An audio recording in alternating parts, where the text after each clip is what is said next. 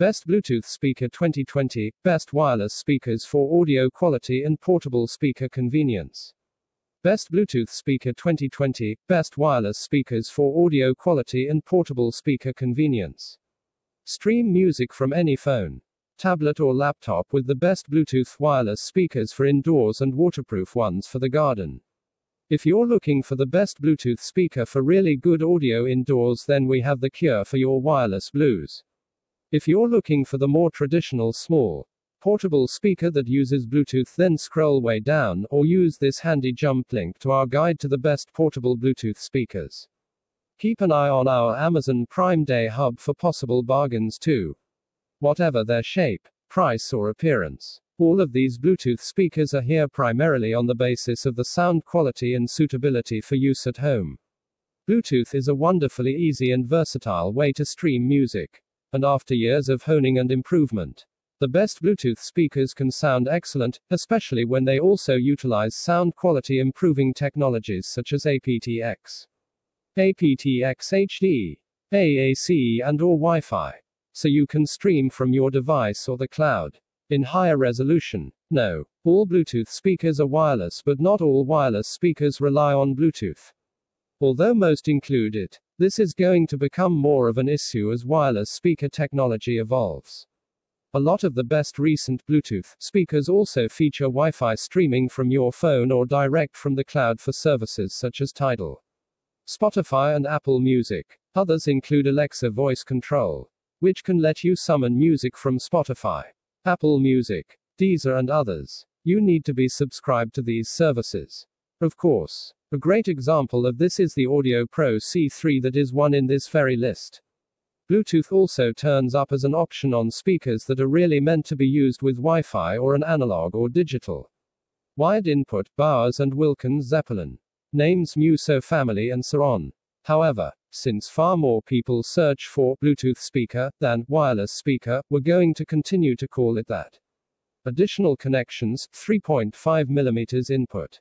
Phono, Preamp turntable. Optical digital. USB audio. 3.5 mm headphone output. If you're a Bluetooth purist, do such people exist looking for a great sounding speaker? TUK is one of a very small number of options right now. Most higher end wireless speakers also include Wi Fi and cloud connectivity to service Tidal, Spotify, AirPlay, Chromecast AL. Kanto TUK has no truck with such newfangled notions. It supports Bluetooth 4.2 AAC and aptX, and no other wireless connections at all. It's also not a speaker. It's a stereo pair of attractive, compact bookshelf speakers. The right hand one contains the connections and DACs and Class D amplifiers and all that. And the right one is a slave. Connected by a wire. Yes, Doing proper, stereo Bluetooth without a wire between the speakers is a more elegant solution, but in my experience it never works satisfactorily 100% of the time. It's also not just a pair of speakers.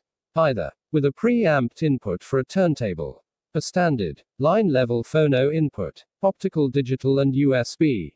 The Kanto TUK is actually what old people would call a music system or mini system. I've been using this for some months now via Bluetooth and from a DAC attached to my iMac and after a certain amount of running in.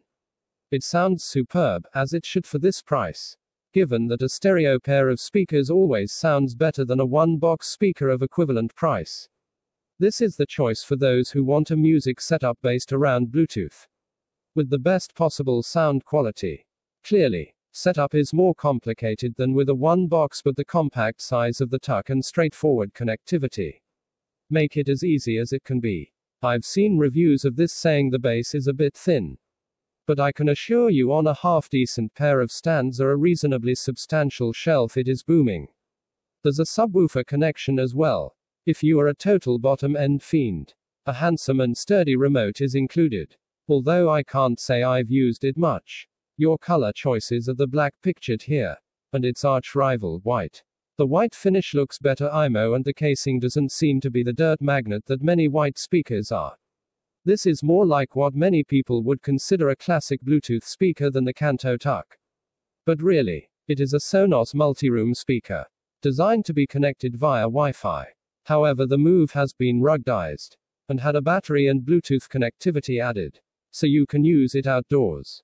Basically a Sonos one that you can take in your garden. The Move also includes Amazon Alexa or Google Voice assistants, although not when in Bluetooth mode, and multi-room streaming support from a vast range of music services, although not when in Bluetooth mode. Sound quality is excellent, and there's some genuinely clever software that automatically optimizes the sound to its surroundings every time you move it. You can have some fun with the move putting it in the most acoustically unpromising positions you can think of, it nearly always ends up sounding good. Indoors or out, Sonos Move is not the most handsome thing. But you soon realize its design is excellent. A massive, recessed handle on the back makes it easy to transport. And as well as being rugged, the base and paint finish are cunningly designed so it doesn't get marked and scarred by a life of being hefted about and placed on patios. Sonos app provides support for any music service you can think of or subscribe to as well as allowing voice control of tunes via Alexa or Google. When you're in Bluetooth mode, however, Move functions like any other Bluetooth speaker, you send music from your phone or other devices. From whatever music apps you happen to have installed. Audio quality takes a noticeable hit when you switch to Bluetooth. Compared to Wi Fi or cloud streaming. Even so, it sounds way better than any other portable Bluetooth speaker I can think of.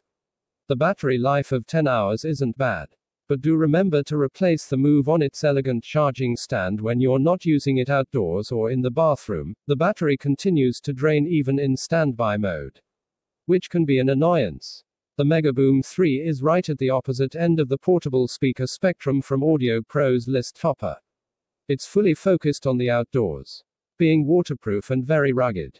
Actually, it's not just waterproof, it even floats so if it's accidentally or deliberately dropped in the pool. It's easily retrieved. Unlike the add-on C3, the Megaboom 3 probably won't win approving nods from audiophiles but while it may be targeted at those who want dance, pop and rock tunes in the outdoors, its small footprint and attractive design mean it can function perfectly happily in the kitchen. The coolly muted colors it comes in are, in fact, about the only quiet things about it. Ultimate Ears has absolutely piled on the bonus features here. With the ability to pair two in stereo as well as the option to chain anything up to hundreds of them. For even greater volume, a magic button on top lets you easily play, pause and skip tracks and, ah, not so easily control playlists. It's cool that UE has added this functionality but it has two problems, it only works with Apple Music and Deezer playlists. And you can only skip forwards through your playlists one at a time. So if you have hundreds of playlists, this could be of rather limited use, or at least, you'll get RSI skipping to the one you want. With 20 hours of battery life, impressive bass and volume, 360 sound, and build quality that renders it essentially unkillable. The UE Mega Boom is by far the best outdoor speaker you can get. And as noted, you don't need to wait for summer to come back to enjoy it as it does work well, for pop music in particular, in the kitchen, bedroom, or elsewhere. If you want a very similar speaker with Alexa built in, as on an Amazon Echo device, UE also does the Megablast.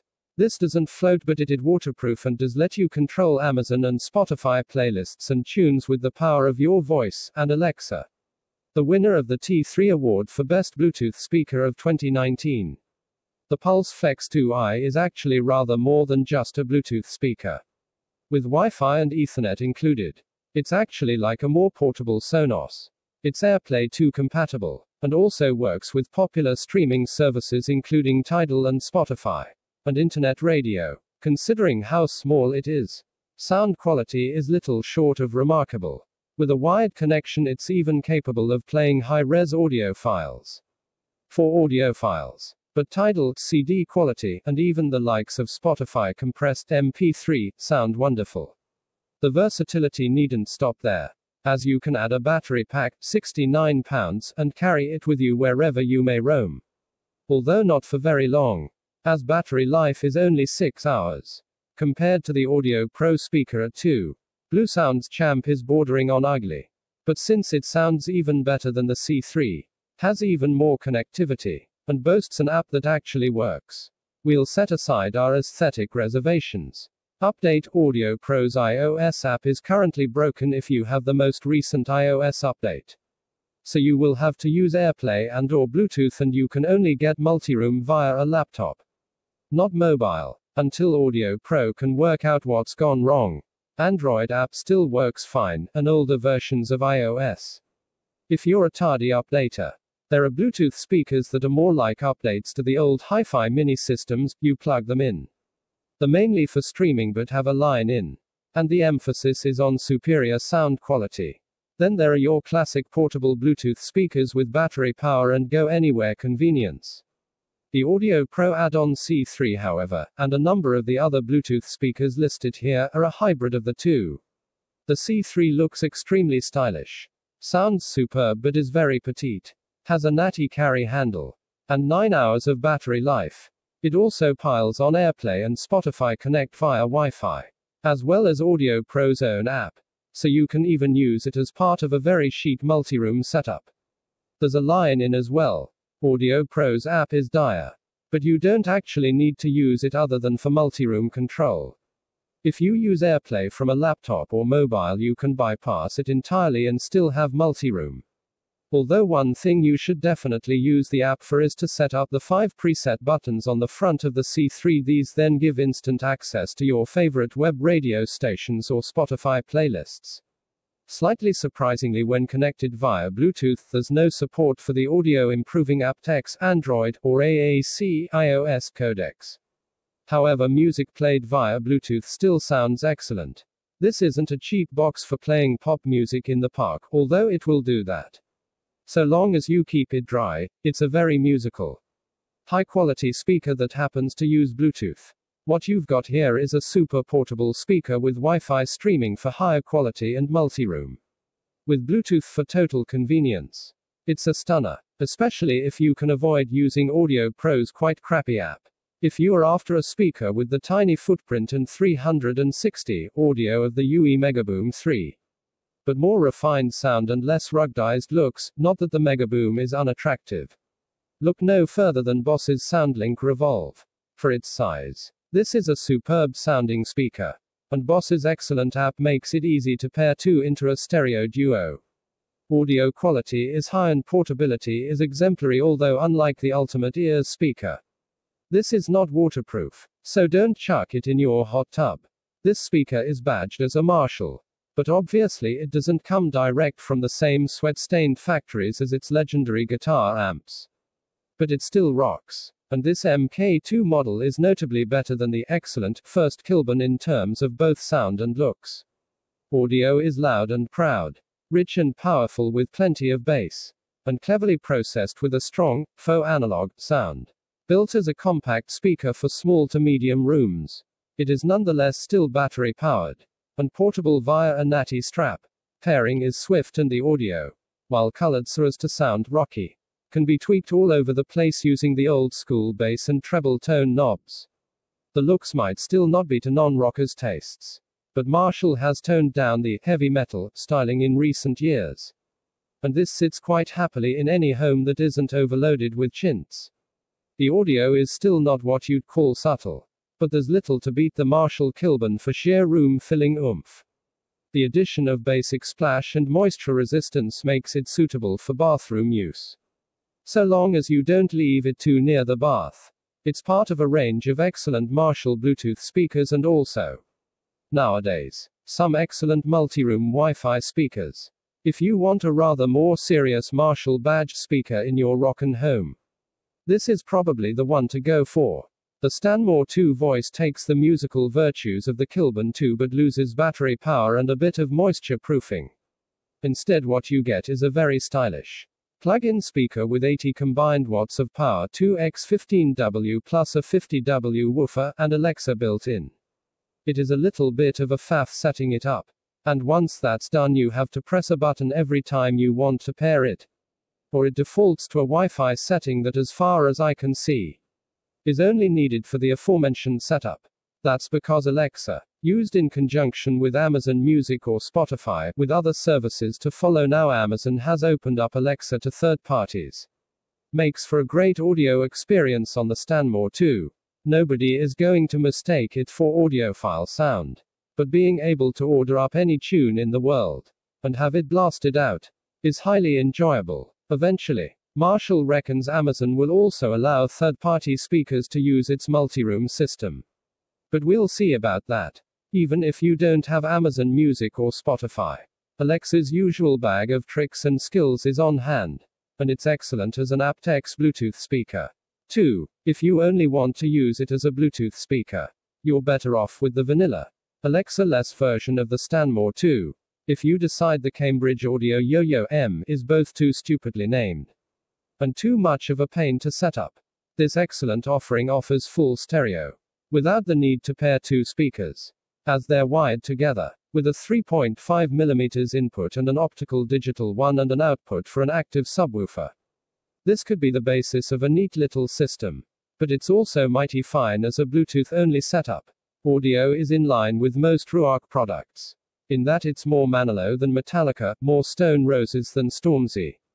But that's fine. In my opinion, the more upfront sound of the Cambridge Audio Yo-Yo M is better, and it's cheaper too, but I know loads of older folks and acoustic heads love the Ruark sound. The fact the speakers are wired to each other does make setup less of a hassle. As it removes the need to turn on two speakers every time you want to listen to music. It does limit how far apart you can place them. But you could always buy a longer 3.5 mm to 3.5 mm cable. Rather brilliantly. You can mate the MR1 MK2 with a Rega P1 or upgrade to a Rega P2. As you can see, they make an exceedingly handsome couple, and let me tell you. Readers, they're a couple who make sweet music together. Um, mm, if you don't require stereo, or lack the space for two speakers, but love the sophisticated 1950s-esque look and sound of Ruark. You should seriously consider the Ruark R1 MK3 with a built-in DAB radio. It might be all the speaker your kitchen or caravan ever needs. The best portable speakers turn up everywhere from fields to beaches to kitchens. Or even strapped to cyclists as they pedal past blasting out Taylor Swift or Motorhead. They're like the portable radios of the 21st century. And the best portable speakers are waterproof or at least water resistant. Right now, they are dead handy if you're working from home, specifically from your garden or balcony.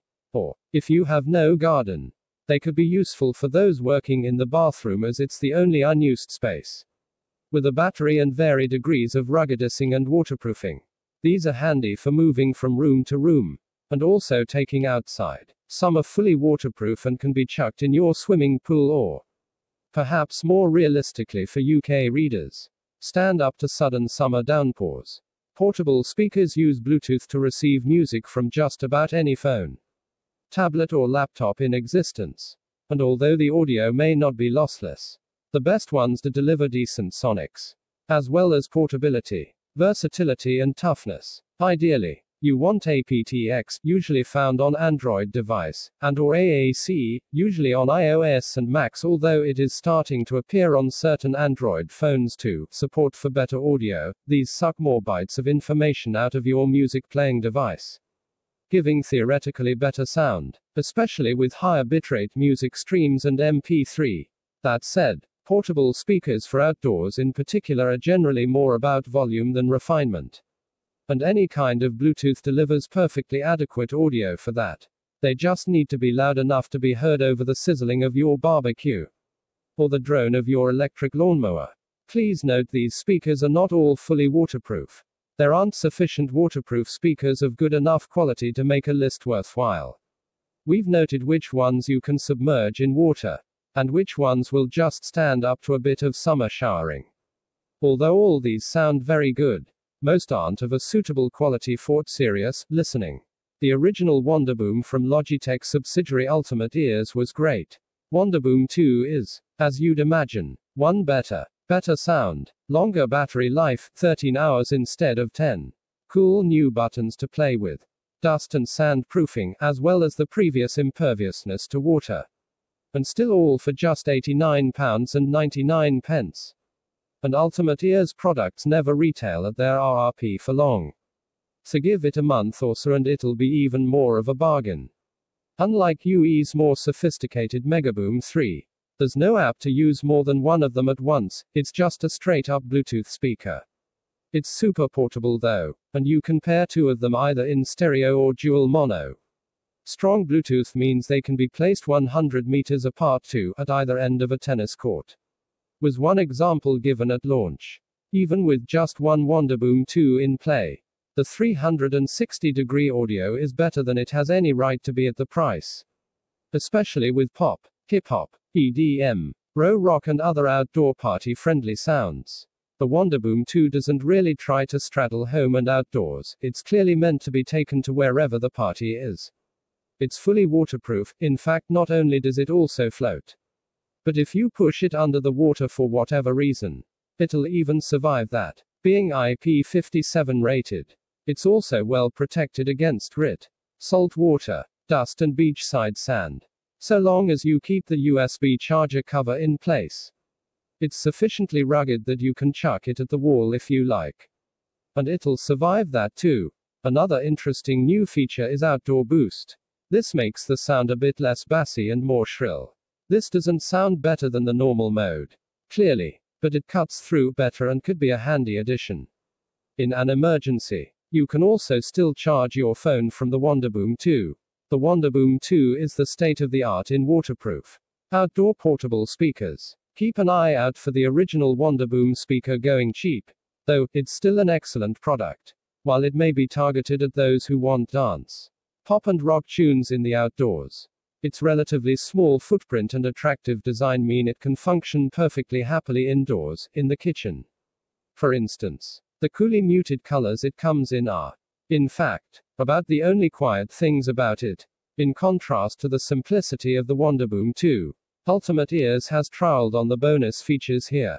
With the ability to pair two in stereo as well as the option to chain anything up to hundreds of them for even greater volume. Via an app. To put it simply, Wonderboom 2 is the best portable speaker. But Megaboom 3 is a better speaker overall. But seeing as this is a list of the best portable speakers, we have ranked the simpler, smaller Wonderboom 2 top. Hopefully that makes sense. If you want a very similar speaker with Alexa built in, as on an Amazon Echo device, UE also does the Megablast. This doesn't float but it is waterproof and does let you control Amazon and Spotify playlists and tunes with the power of your voice and Alexa. A very touchable metallic lozenge in a variety of autumnal tones. The P2 is the most attractive of the current wave of small speakers that produce remarkably good sound. It's also pretty affordable for a Bang & Olufsen product. Needless to say, it will not be of use as part of a grime sound system but there's enough bass to underpin the sweet mids and treble, giving a very decent overall sound. For the size, which is smaller than many phones, it's pretty remarkable. You'll probably want to use your phone to skip tracks and change volume because the P2's touch controls are, to put it mildly, hit and miss. I'd also advise giving the Beoplay app a miss, other than for initial setup, and just using it as a straightforward Bluetooth speaker. Finally, the P2 also makes a very solid speakerphone for when the music must cease. And it's time for business. If you want essentially the same speaker, but with more bass and volume. The larger, circular Beoplay A1 is also well worth considering. The Boom 2 sits somewhere between the Wonderboom 2 and Megaboom 3. And can often be had very cheaply. Because it is old, I prefer the Boom 2 to the Wonderboom 2 for indoor use as it's just that bit bigger and not dust, sand proof. Although it is similarly indestructible by water, you can use the UE app to link dozens of Boom 2s together. If you wish, and also link multiple mobile devices, and then have DJ Wars. With 15 hours of battery life, the party can go on way past your neighbor's tolerance limits. The audio was incredibly good for a waterproof speaker when it first appeared. Ultimate Ears have since raised the game still further with the Mega and Wonder brothers. But it still sounds good. As ever with UE. Boom 2 is best suited to pop, dance, and hip hop, but it delivers a bit more nuance than the Wonderboom 2. Well, you would not buy this Bose waterproof number if you want really great sound quality. For its size and weight, though, which is small even when compared to the Beoplay P2 lozenge and UE Wonderboom hand grenade.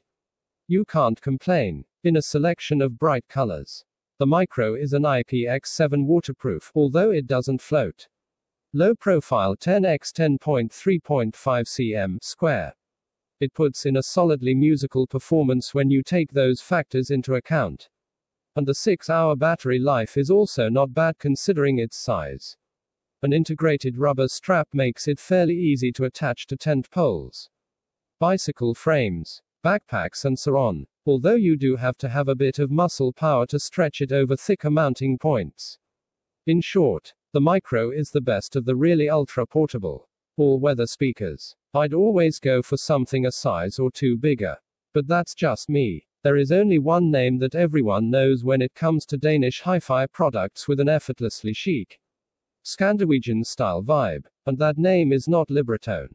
However, while the one click is slightly inferior to Bang & Olufsen's Beoplay A1 sonically and aesthetically, it's not by a huge margin, and you can generally get the Libratone for less.